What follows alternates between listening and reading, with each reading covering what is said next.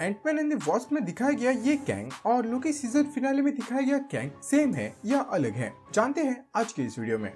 अब कैंग को हमने पहली बार लोकी सीज़न वन फिनाले में देखा, जहाँ उसी के वेरिएंट हीरो रिमेंस के मौत के बाद काफ़ी सारी न्यू टाइमलाइंस एग्जिस्टेंस में आई।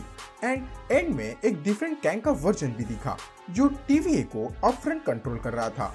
बट इस नए एंटमेंट के ट्रेलर के बाद बहुत से फैंस सोच में पड़ गए हैं कि वो कैंग जो टीवीए को कंट्रोल कर रहा था एंड ये कैंग जो हमें एंटमेंट के ट्रेलर में दिखाया गया है, वो दोनों सेम है या ये दोनों अलग अलग हैं? क्योंकि अब मल्टीवर्स खुलने के बाद काफ़ी कुछ चीज़ें बदल चुकी हैं। हमें लोकी के अलग अलग वेरिएंट्स देखने मिले स्पाइडरमैन के वेरिएंट्स देखने मिले डॉक्टर स्ट्रेंज के वेरिएंट्स दिखे। तो ज़ाहिर सी बात है कि ये भी कैंग का कोई वेरिएंट हो सकता है। लेकिन अगर कैंग का कोई वेरिएंट ऑलरेडी टीवीए को कंट्रोल कर रहा है तो ये पॉसिबल नहीं होना चाहिए कि उसका दूसरा कोई वेरिएंट एग्जिस्टेंस में हो। क्योंकि अगर आपको याद हो तो रिमेंस ने ये बताया था कि उसके सभी वेरिएंट्स एक दूसरे को मारने के लिए खून के प्यासे थे। एंड ऐसे ही सभी को मारने के बाद वो टीवीए को फॉर्म करता है। मतलब कि टीवीए लोकी के सीज़न वन में एग्जिस्टेंस में है। एंड उस पर कैंग का वेरिएंट रूल कर रहा है। तो उसने ऑलरेडी अपने बाकी वर्जन को मार दिया होगा। एज टीवी की मदद से कैंग वो सारी टाइमलाइंस को प्रून कर देता है, जिससे नए किसी कैंग के बनने की पॉसिबिलिटी क्रिएट होती है। लेकिन एक पॉसिबिलिटी है कि एंटमैन में दिखाया गया कैंग लोकी सीरीज़ में दिखाया गया कैंग का यंग वर्जन हो सकता है, जो इन सारे इवेंट्स के बाद टीवी पर कंट्रोल पाता है।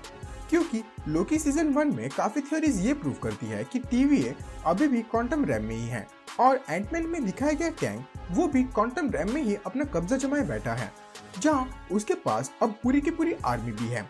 लेकिन कुछ रीजंस की वजह से मुझे लगता है कि ये दोनों कैंग कम्प्लीटली डिफरेंट है और ये वेरिएंट्स है। एक तो है टाइम पीरियड दोनों इवेंट्स डिफरेंट टाइम में टेक प्लेस करते हैं। लोकी वाला इवेंट कम्प्लीटली टाइम के बाहर है एंड दूसरा इवेंट एंड गेम के कुछ सालों के बाद टेक प्लेस करता है। एंड सेकेंड है ये कैंग के फेस के ऊपर लगा हुआ स्कार ये स्कार ना ही हीरो रिमेंस के चेहरे पर एंड ना ही एंड में दिखे कैंग के स्टैचू पे। तो ये डेफिनेटली कैंग का कोई दूसरा वेरिएंट है। अब वो यहाँ कैसे आया एंड यहाँ क्वांटम रैम में क्या कर रहा है, ये समझ लेते हैं। अब जैसे हमें पता ही है कि कैंग के सभी वेरिएंट्स में लड़ाई होती है तो वैसे ही मे भी एक लड़ाई टीवीए वाले कैंग और इस नए वाले कैंग के बीच हुई हो। जिसमें ये कैंग उससे लड़ते लड़ते क्वांटम रैम में गिर जाता है और बच जाता है। एंड तभी उस लड़ाई में उसके चेहरे पर स्कार आता है, जिसके वजह से टीवी एग्जिस्टेंस में होने के बावजूद भी कैंग के दो वेरिएंट्स एग्जिस्ट कर रहे हैं। एंटमैन एंड वॉस के ट्रेलर के इस सीन में हम क्लियरली किसी को क्वांटम रैम में क्रैश होते देख सकते हैं। एंड यहाँ पर कोई हुडेड फिगर उसे देख रहा है।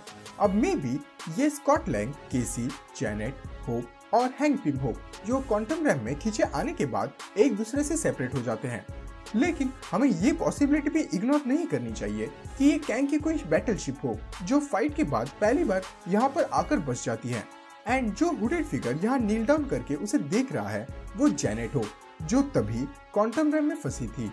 क्योंकि अगर आप उसके पीछे के एटमोसफियर और टाइम वर्टेक्स को ध्यान से देखोगे तो उसका कलर कुछ अलग है। लेकिन जिस सीन में स्कॉट और केसी लैंग है, उसके पीछे का बैकग्राउंड और टाइम वर्टेक्स वो दोनों चेंज है। मतलब ऐसा लगता है कि यहाँ सदिया बीत चुकी है। ये ऐसा है जैसे कि यहाँ पर कोई बड़ा इवेंट हुआ हो, जिसके वजह से यहाँ सब कुछ टूटा फूटा है।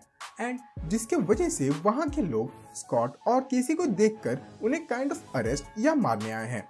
अब कैंग यहाँ क्वांटम रैम में आने के बाद सबसे पहले अपनी आर्मी क्रिएट करता है। ताकि वो अपने दूसरे वेरिएंट पर हमला कर सके।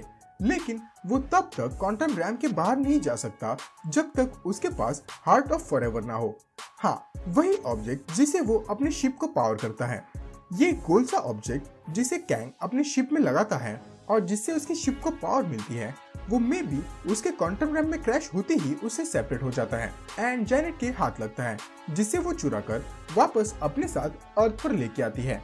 अब अगर ये सब कुछ सच होता है तो ये थ्योरी ये भी एक्सप्लेन करेगी कि क्यों जैनेट क्वांटम से इतना डरती है एंड क्यों वो इतना छुप छुप कर रहती है। अब आपको क्या लगता है, क्या ये कैंग टीवी में दिखे कैंग का कोई वेरिएंट है या फिर ये दोनों एक है? एंड क्यों कैंग अभी भी क्वांटम रैम में है? हमें कमेंट बॉक्स में ज़रूर बता देना। तो बस आज के लिए इतना ही, मिलते हैं अगली वीडियो में। जो भी कभी मुझे क्रॉस कर गया। वापस आने का तो ऑप्शन गया। बातों का मेरी ऐसा खौफ पड़ गया। मैंने झाड़ा नहीं, खुद मेरा रॉप झड़ गया। जिससे